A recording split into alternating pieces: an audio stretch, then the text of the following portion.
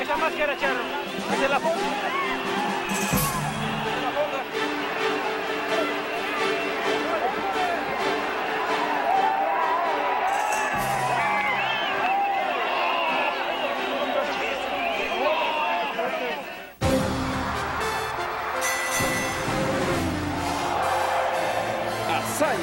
el deporte libre.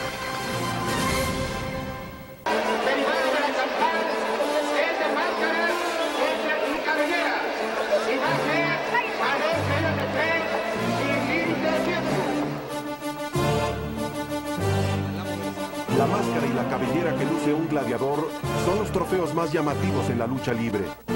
Es por ello que, a como de lugar, se busca la conquista de su personaje. La armonía entre la persona y el luchador se fusiona dando vida a un nuevo ser. Son el monstruo y el ángel, a fin de cuentas. Son representaciones terrenales de gladiadores fantásticos. El negro Casas. La máscara es la incógnita de la gente que te quiere conocer, de las personas, de tú como, como enmascarado. La gente que tú conoces y dicen, eh, hola, y tú ¿Qué pasó? ¿Cómo estás? Tienes que impostar un poco la voz para... Porque si hablas normal, te sacan. Y hay gente muy inteligente. vamos a él, pues está tratando de abrir más la gente. Sobre el ring se planta un muestrario de gladiadores míticos. Sube el orgullo de una localidad. Carismáticos herederos prehispánicos, maléficos doctores, demonios y hasta ángeles caídos.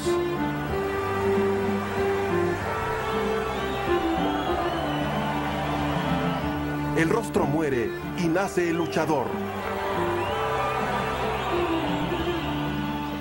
También lloró conmigo y también sufrió conmigo, también gozó conmigo, también ha tenido todo. Es que ha sido parte de, mi vida.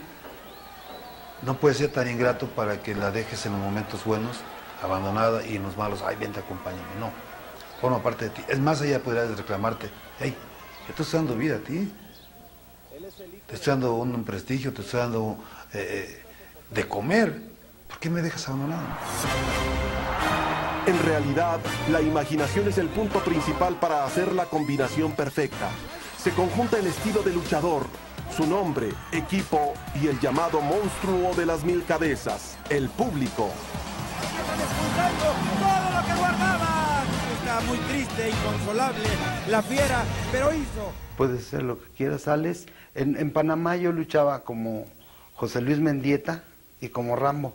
Subía yo como Rambo, no le hablaba a ningún luchador de ahí, entraba al vestidor, me vestían enmascarado, ya ni, ni a Dios les decía ni nada, y me hablaban, no les contestaba. Pues ya llegaba yo a luchar como Mendieta y me decían, oye, ese tipo eh, es un aberrante, no le deberías de hablar. La cabellera es la honra del gladiador. Defenderla ante un rival quizás sea la mayor lucha que haya dado hasta el momento. Tal vez no posea la fuerza que una incógnita imprime en el gladiador, pero al exponer el piojero ante su público y sus contrarios, lo obliga a resistir y reaccionar bajo cualquier medio posible. Al toque de espaldas, doble palanca sobre Ringo y gira.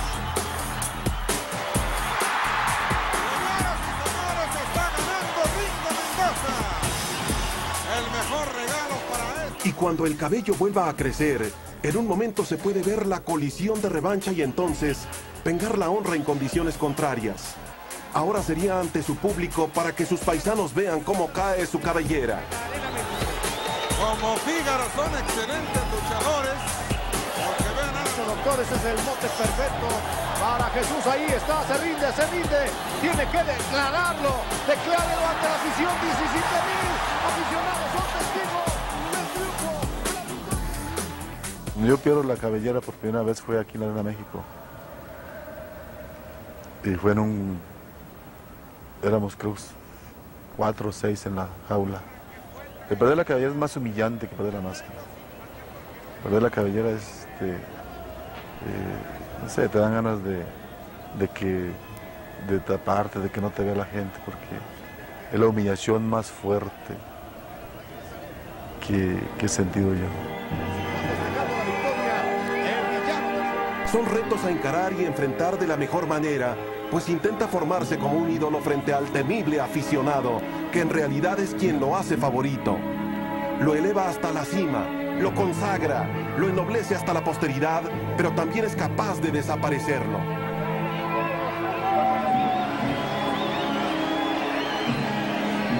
El acercamiento es excepcional sobre tierra, viento y fuego. Atlantis le quita la máscara, se enoja tierra, viento y fuego. Es por ello que los encuentros donde se expone la cabellera o la máscara, también se expone con el triunfo y la derrota, un albur entre el recuerdo y posterior olvido, o la gloria. El momento en que están rapando a Papo Fuente. Y hoy la está perdiendo nuevamente.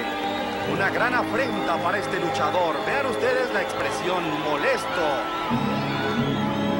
Una derrota dolorosísima.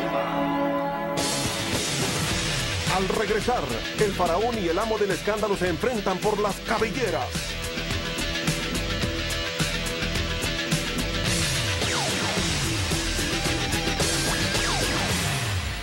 Regresamos a Sol. Cerveza Sol.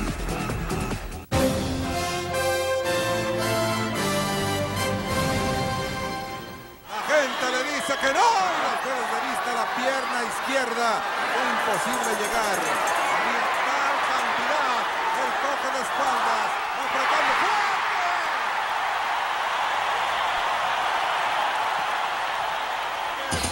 Si el perder la incógnita puede significar un destino incierto para el luchador, existe la posibilidad que al ser descubierto su rostro, el gladiador mute en un nuevo personaje y así su figura se eleva potencialmente entre su exigente público y el nuevo aficionado.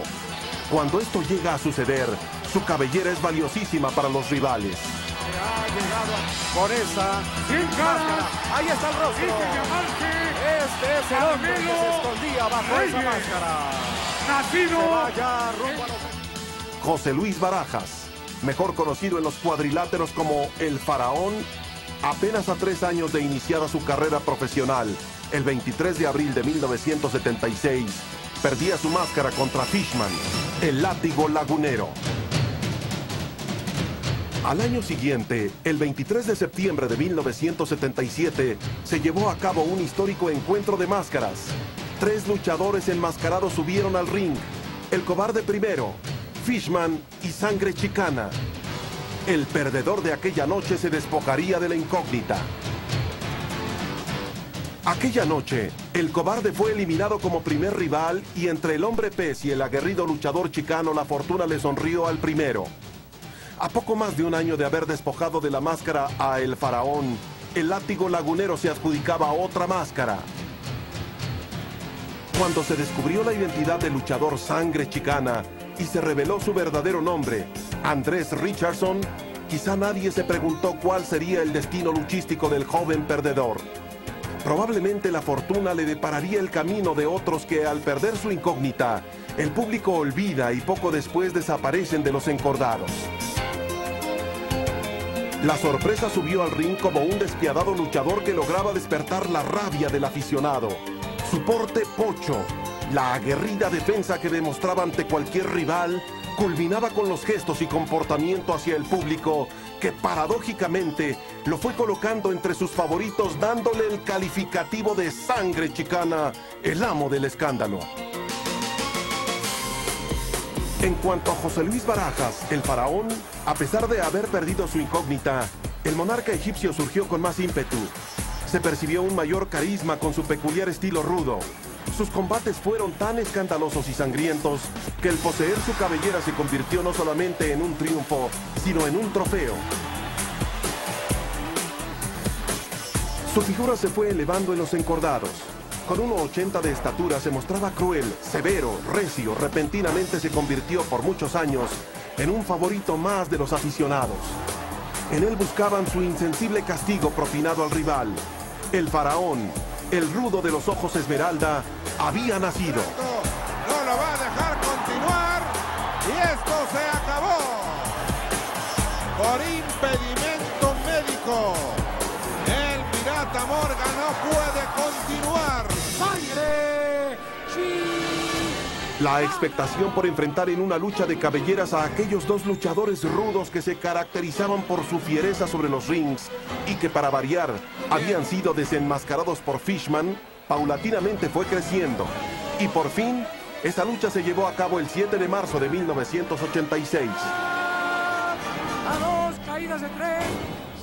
Desde el inicio del combate, lo extremo y salvaje salió a relucir y la severidad de esa lucha mantuvo expectante al aficionado. Él por momentos se detiene, pero es para jalar un poco de aire, ya que la sangre, aunque no le escurre de la nariz, sí le llega hasta ella para impedirle respirar un poco. Para ambos luchadores ya no estaba en juego el albur que imprime el perder la incógnita. Habían sobrepasado el probable olvido al que se enfrentan en este tipo de combates. En condiciones similares, ambos gladiadores se habían sobrepuesto como íconos de la lucha libre. Aquella noche se recuerda como uno de los enfrentamientos de dos monstruos de la popularidad que de manera encarnizada buscaban la cabellera de su contrario. Y ahora con sangre chicana, ya que tiene ese coraje dentro, tan adentro que dijo que lo iba a matar. Para la tercera caída, la emoción cubrió la atmósfera de la arena. Los hombres de las cavernas pues eh, no luchaban con tanta crueldad como el faraón y sangre chicana. Nunca pensaron. Ambos rivales seriamente mermados buscaban a como diera lugar la victoria. De pronto, en un controvertido movimiento, el faraón era descalificado y sangre chicana se adjudicaba con ello el triunfo de una anhelada cabellera. De estas alturas, pero sí nos pareció foul. Vamos a ver lo que dice ahora. El referee está diciendo que no, que termina la pelea y levanta la mano a sangre chicana. Al regresar, la historia del Junior de Pepe Mendieta, Rambo el Generalísimo.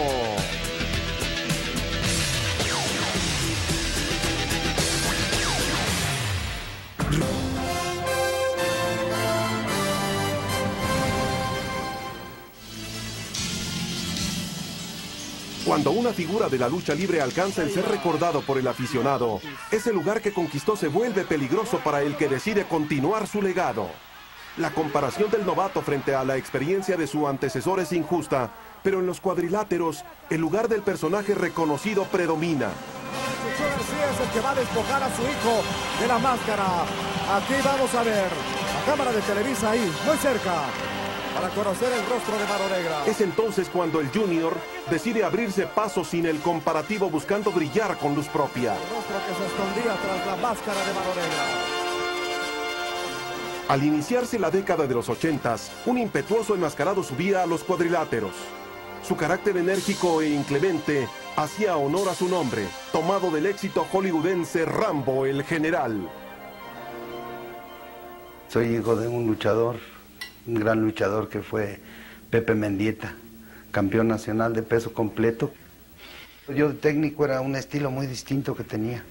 Era muy ágil, muy, muy suelto en el ring, corría, brincaba, tenía mucho adorno y, y- carisma con la gente, reía y me comunicaba y todo. Me comparaban mucho con mi papá. No, era más bueno tu papá. No, tú sí, pero no. Y ya de Rambo ya no hubo comparaciones con la máscara y todo. La fama de Rambo fue tal que enardecía al público asistente. En su persona coagulaba el coraje, la impotencia y la bravura. Cuando ya me enmascaré de Rambo, tuve una... Se me abrió todo, el espectáculo, la gente, el público fue distinto y de rudo, porque siempre fui técnico. Y dicen que para ser un buen rudo necesitas ser muy buen técnico.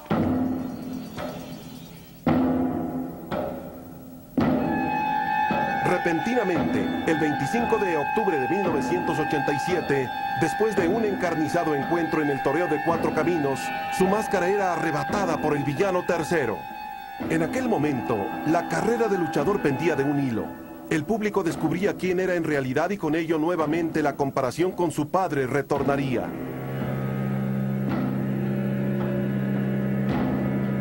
Y estaba disfrutándolo porque estaba teniendo mejores proyecciones, mejores luchas.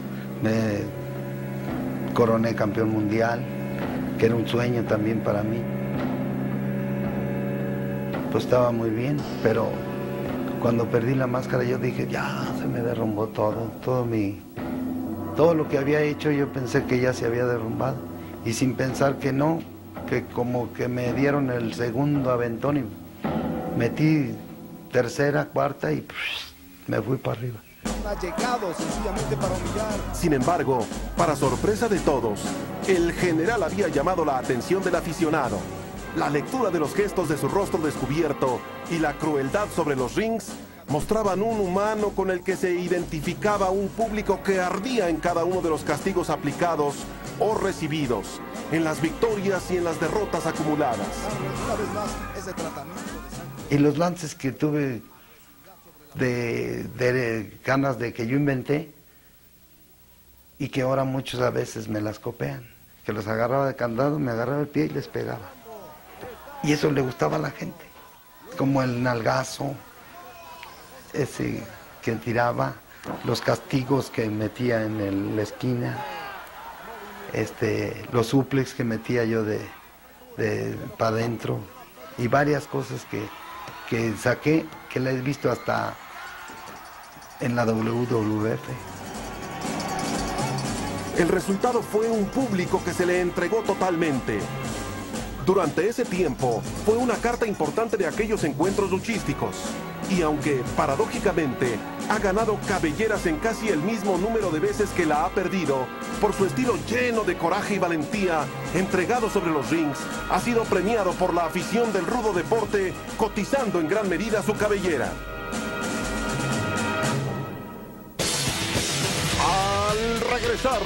Destapados que brillaron con un nuevo personaje, Jaque Mate e Hijo del Gladiador.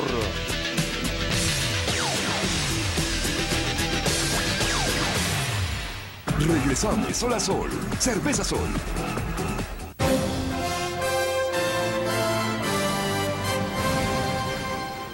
El 21 de septiembre de 1984, Talismán perdía la lucha donde apostaba su máscara contra Atlantis. Tras la máscara se encontraba Arturo Beristain Ramírez. Y aunque sin máscara continuó con su polémico estilo midiéndose en diversos encuentros luchísticos, debido a que su desenvolvimiento sobre la lona ya no iba con su nueva imagen, o simplemente porque sus seguidores lo preferían enmascarado, se ve obligado a surgir con un nuevo personaje, el 4 de agosto del año 2000, Rencor Latino descubría quién se ocultaba tras el hijo del gladiador. El gladiador dice llamarse Arturo Ramírez Beristain. Al finalizar la década de los años 70, un nuevo gladiador se mostraba sobre los encordados. Durante sus presentaciones mostraba aptitudes y conocimientos en lucha a ras de lona y a pesar de ello, siempre se empeñó más por defender su esquina ruda. El nombre del enfermero regresaba, pero ahora en su junior. El enfermero es el que inicia la brega. Es el capitán. Su personaje hacía gala de su antecesor. Ante un equipo todo de blanco, contrastaba su cruel fiereza. Sus combates, incluso con máscaras desgarradas, llegaron a descubrir un rostro humano, aunque sobre los rings pareciera el enfermero de los infiernos. Es la, la segunda edición de lo que vimos al inicio de esta lucha. Yo participo en una función en Arena México eh, de una eliminatoria para Nacional Medio. Salgo eliminado. Pero eh, el evento principal era máscara contra máscara, entre Solar Segundo y el crucero. Entonces, cuando llego al vestidor, veo por donde quiera voces y todo, todo ahí un pandemonio. ¿Qué pasa? Que no se presentaba el, crucero.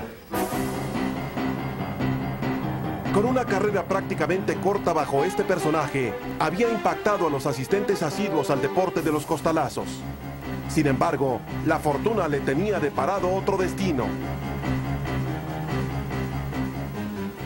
Cuando a mí me dijeron, no llega, si no llega, ¿subes tú? No lo pensé, pero por supuesto que subo. Yo sabía que perdiendo o ganando, yo era un triunfador. Esa rivalidad nunca existió. Más bien existió en mi mente una oportunidad. Sabía que se iba a hablar de mí, para bien o para mal, durante toda la vida. cosas ilegales del enfermero.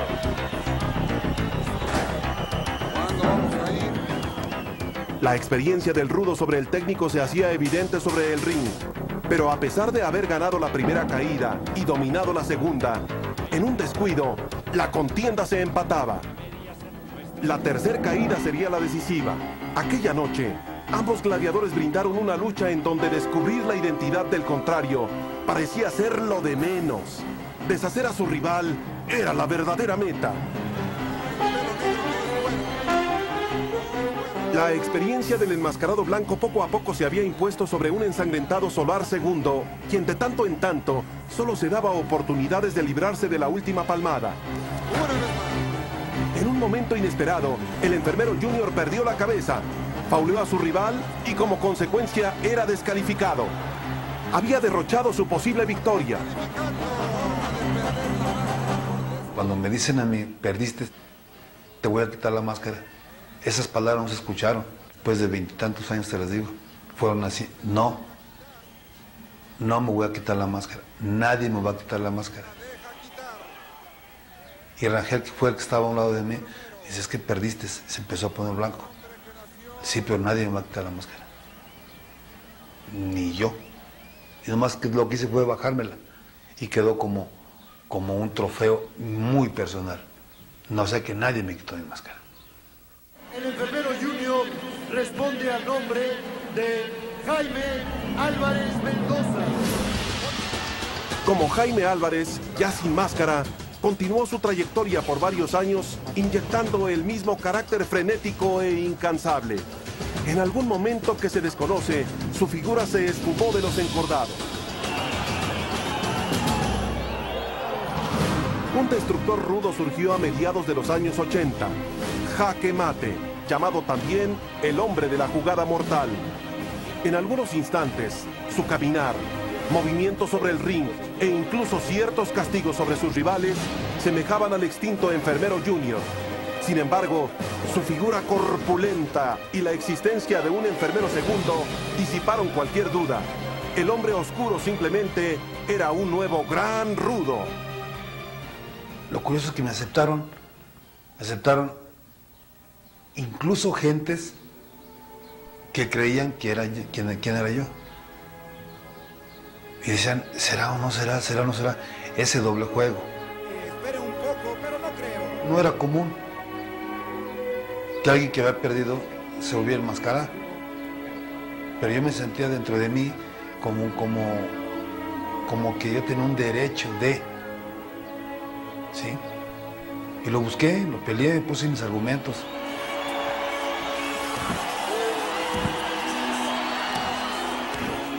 Lo que no me, no me cabía en la mente era que no me apoyaran gente que supuestamente estaba para apoyar.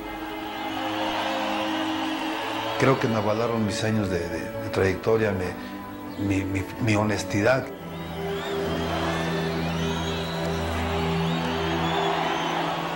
Pues a veces aquel que lastima a alguien con, sabiendo lo que lo va a hacer.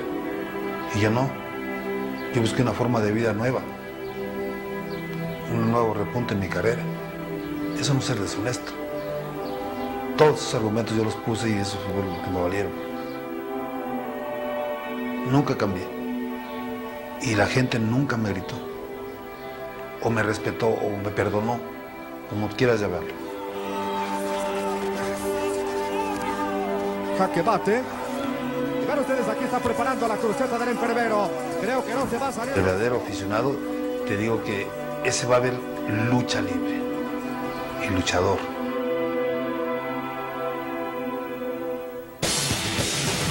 Al regresar, el conquistador Aníbal, verdadero ídolo del pancracio.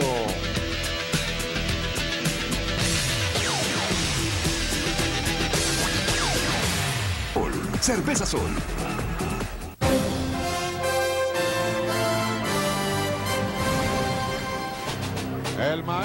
A finales de los años 60, un nuevo gladiador comenzaba conquistando las arenas y coliseos de la lucha libre. Aníbal, el guerrero cartaginés. Una impresionante carrera de éxitos corroboraba la maestría que el técnico poseía.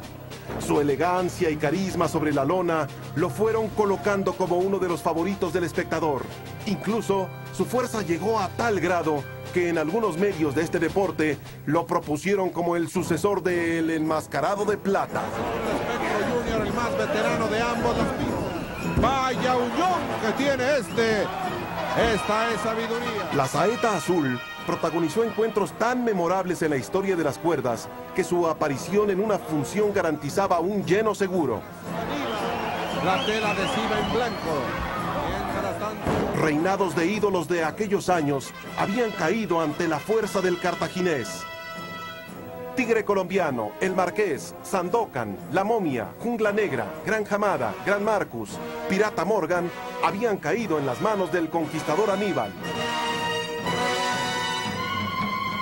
que dije que no era necesario firmar, tengo palabras, pero si se necesita, yo firmo el documento que sea. Cuando finalizaba el año de 1991, 18.000 espectadores se arremolinaban en la función en la que el guerrero exponía su incógnita frente al jalisciense Máscara Año 2000. Me voy a remontar a, a remontar a, a esa época cuando yo creía que, que me invitaba mi amigo a ser luchador, a digo, a entrenar lucha. Todavía no íbamos, todavía no íbamos a entrenar. Me dice, hay una, hay una función de lucha en el campo deportivo Pedro Moreno en Lagos. Vamos, viene Aníbal. No me acuerdo contra quién iba, y otros de León, Guanajuato. Y fui a ver a Aníbal a la función, allá en Lagos de Moreno. Yo todavía ni, ni ahorita no entrenaba. Y finalmente, yo cuando me imaginé luchar, ni, no, no, ni, ni por qué me pasó que yo algún día llegara a luchar con Aníbal. Un Aníbal mermado, con casi 30 años batiéndose sobre los rings, salía una vez más a exponer su incógnita. A pesar de ello, la resistencia de su capacidad luchística seguía demostrándose frente a su rival.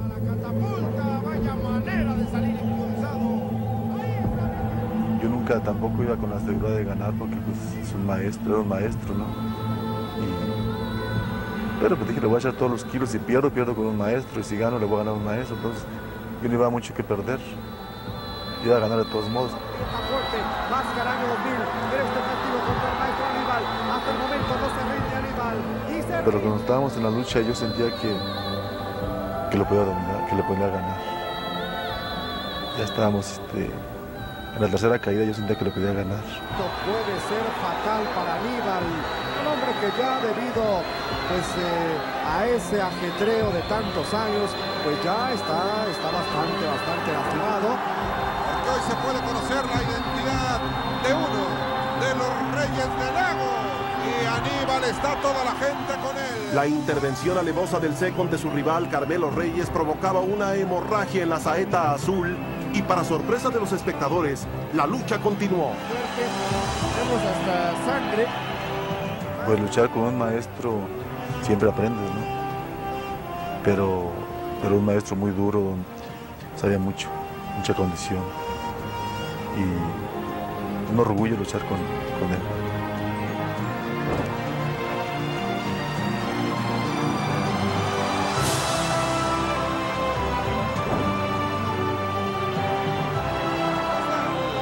Aquí se puede apreciar y lo saca. Pero intervino 100 caras, se le dio un botellazo en el hombro. Y luego ya hubo otro error ahí del refere que me parece que lo faulió algo así. Pues ya se me facilitó todo. Al decretarse finalizado el encuentro, Aníbal perdía. La furia azul era Carlos Ignacio Carrillo Contreras. Pero los rudos no nos importa la manera como ganemos, lo que importa es ganar. Y señores.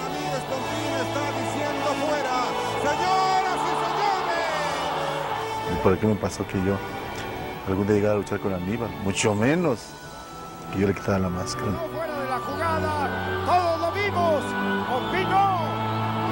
Se está despojando de la máscara. Esto es histórico. Respetable público, su atención, por favor. El luchador Aníbal. En cuanto al maestro Nacho, por un corto tiempo continuó batiéndose sobre los cuadriláteros. Hay quienes comentan que sin la máscara, su estilo ya no fue igual. Esto es histórico. Mientras Mano Negra... La popularidad del Rudo Máscara año 2000 continúa elevándose hasta hoy, a pesar de haber perdido su incógnita contra el perro aguayo. Este es Aníbal. Quizá Dos años después de aquella noche, el maestro Aníbal murió de cáncer. acostarle la incógnita, una incógnita que era verdadera leyenda. Al regresar, Santo y Solitario, solo la parca conoce sus rostros.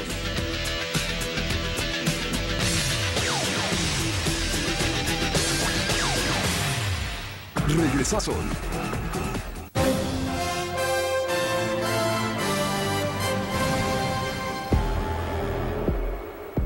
En una profesión en la que se arriesga la vida en cada uno de los enfrentamientos, existe el respeto a aquellos personajes que por su entrega y dedicación, en el momento de perder la vida, son llevados al féretro con su identidad cubierta.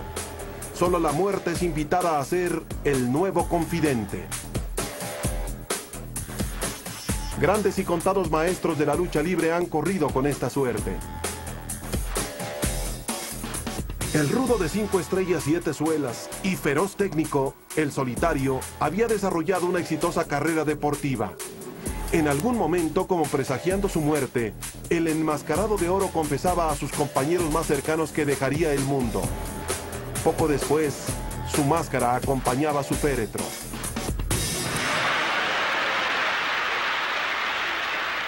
El santo, el luchador de los 10.000 encuentros, defendió su incógnita contra un innumerable grupo de gladiadores que habían pensado lograrían adjudicarse tal triunfo. Su identidad se cubrió celosamente durante toda su carrera deportiva. Cuando la gente reparaba que en su viaje de avión también venía a bordo el santo, de pronto desabordaba la incógnita plateada. De alguna forma, la fama se creó con su misterio.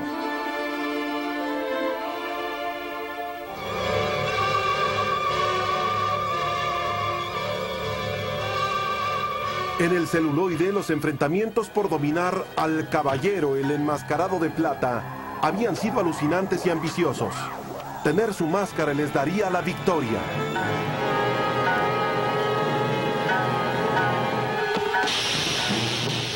Y sin la máscara, no anhelo pues ninguna popularidad, porque si eso fuera, ya me hubiera dado a conocer. La servidumbre sabe que cuando me ve con un beliz, pues, me viajo pues eh, a algún estado, al extranjero, voy eh, en pues en plan de negocios, pero no saben en realidad en lo que yo trabajo. En esta otra, el invencible enmascarado de plata, el Santo.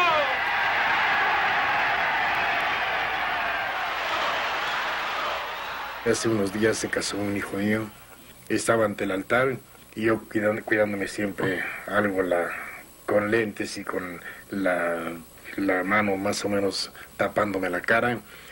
Y en esas ocasiones sí, sí creo que es cuando yo digo, pues andarme ocultándome de verdad es medio feo.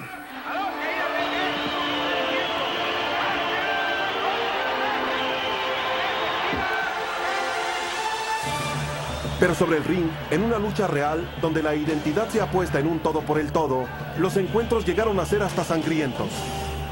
Como lo fue el que sostuvo en 1963 con el Espanto Primero.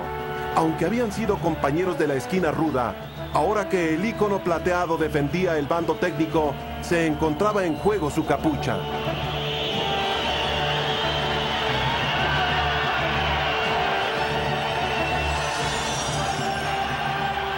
Después de un encarnizado encuentro, el plateado combinado con la sangre levantaba su triunfo.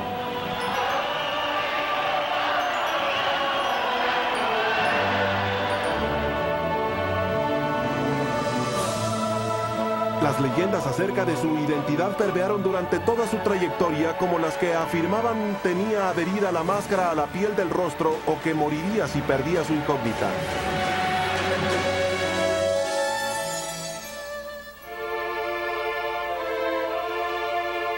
Ya retirado de la lucha libre, el 26 de enero de 1984, se presentaba como invitado en un programa de televisión y de pronto, millones de aparatos receptores vieron una parte del secreto de más de 40 años. Este hombre...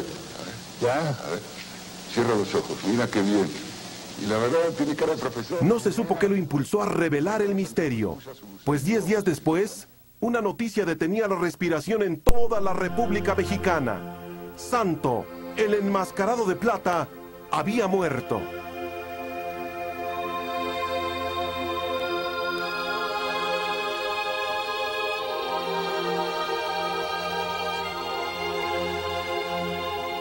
En su entierro, la gente brindó a manera de una enorme peregrinación el respeto y agradecimiento al héroe que logró alimentar por cuatro décadas sus sueños, el que arriesgó su vida en 10.000 encuentros y su máscara en un sinnúmero de luchas.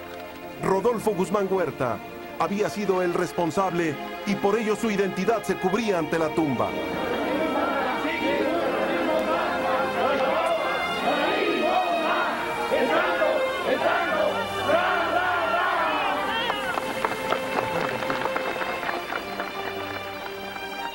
Es mi vida, es el, el éxito que me ha ayudado a tener este personaje. Soy feliz en este ambiente, con la máscara, y yo con el santo seguirá enmascarado por muchos años todavía. Así no fuera como deportista, sino como actor, sino como pues eh, personaje en aventuras de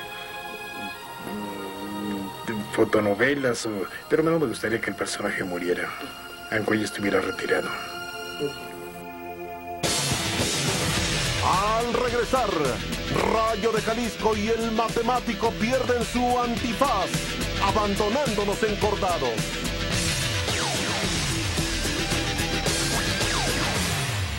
Regresamos. Revisora Sol. Cerveza Sol.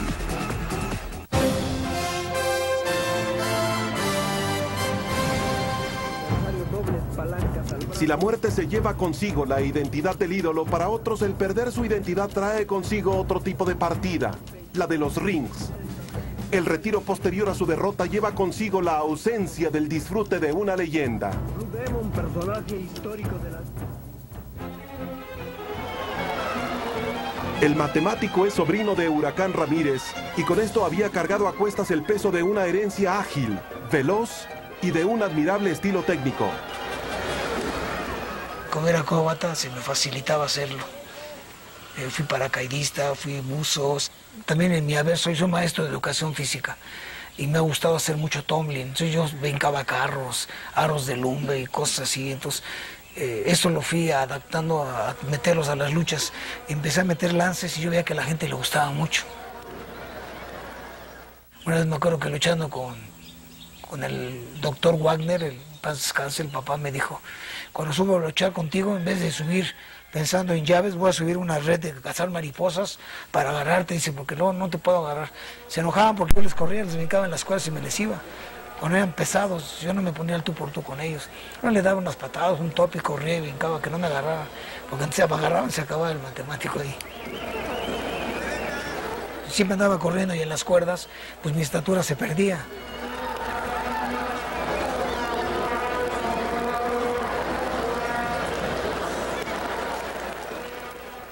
Tuve muchos tropiezos, muchos problemas porque mi estilo era aéreo, me gustaba hacer muchos lances eh, bonitos y no me bajaban de cirquero, ese cirquero me decían los periodistas, en la- y cuál es mi sorpresa que ahora es lo que gusta. O sea, no fui el iniciador, pero sí fui un, alguien que vino a revolucionar la, la lucha aérea.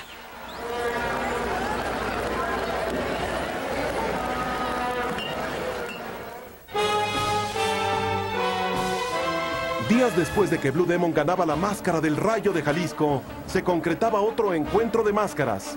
La leyenda de 67 años de edad contra la calculadora luchística. Yo de niño lo admiraba, dije, voy a pelear con Blue Demon, si es mi ídolo. Nunca pensé por aquí que ibas a poner la máscara, ni dónde. La rivalidad de aquella noche terminó en un duelo por las máscaras fijado para el ya cercano 27 de agosto. La monumental Plaza de Toros de Monterrey nuevamente se abarrotó para ver el encuentro. Una experimentada leyenda contra el ágil y sorpresivo calculador. El encuentro se había desarrollado de manera colosal y palpitante. Sus cálculos debían ser exactos. Cualquier distracción podría revertírsele. Y si tú vas a ver la película que yo te voy a proporcionar, la vas a ver que, yo le gano arriba a Blue Demon. Pero cuando yo le gano el referee, eh, accidentalmente se cae fuera del ring y no ve. Y yo me paro y lo festejo, estoy contento. Y la gente, la gente ya estaba conmigo, ya no estaba con Blue Demon, que era de Monterrey. La gente estaba contenta conmigo. Sube y el referee dijo que no vale y que se repite. Voy a echar una plancha desde la tercera y veo que corre y parote y la vinto un tope. Y me lo jala Rolando Vera, lo quita y me estrello contra la gente de primera fila. Otro seco que estaban con Rolando Vera y me, me entorpece la subida. Se me sumió el piso. En ese entonces yo tenía 27 años con máscara y mis hijos estaban llorando conmigo, estaban los dos.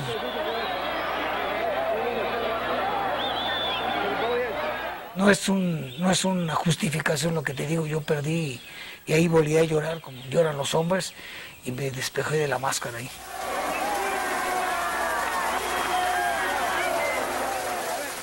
La máscara era lo máximo para mí. Aquella noche la máscara de la calculadora luchística cayó y poco después desapareció de los enlonados. Me sentí un poco mmm, decepcionado, ¿no? También el, en las formas que perdí sentí que no era, que no había yo dado lo que tenía que haber dado, todavía me faltaba mucho. Y las formas fueron muy indecisas. Y no me quise amargar y antes de que la lucha me corriera yo solito me fui alejando. Pero no amargado, con muchas satisfacciones. A veces yo intentaba olvidarme un poquito de la lucha y, no puedo, donde quiera que voy, matemático y matemático. Y a veces aquí estamos en el campo y, y me han llegado a tocar los niños si no les doy un autógrafo. La mayor parte de la gente no me conoce, unos cuantos que fueron a las arenas y fue la máscara de la perdida hace ya 16 años. O sea, esa gente que me vio allá ya no recuerda cómo estoy ahorita. A lo mejor ya me esperan un viejito con bastón, no sé. ¿Te gustaría que muestre la cara? Con mucho gusto la hago, ¿eh? Queremos conocer quién es el matemático. Claro que sí, si me permites que mi esposa, que tanto me ayudó a, cuidar y a llevar esta máscara, me la pueda quitar con ustedes. Ven, María Luisa. Sí, les, les presento a mi esposa, ¿eh, María Luisa. Des... Quítamela. Y esto no lo he hecho con ninguna, ninguna revista ni nada, quitarme la máscara públicamente. ¿eh? Con mucho gusto lo hago contigo.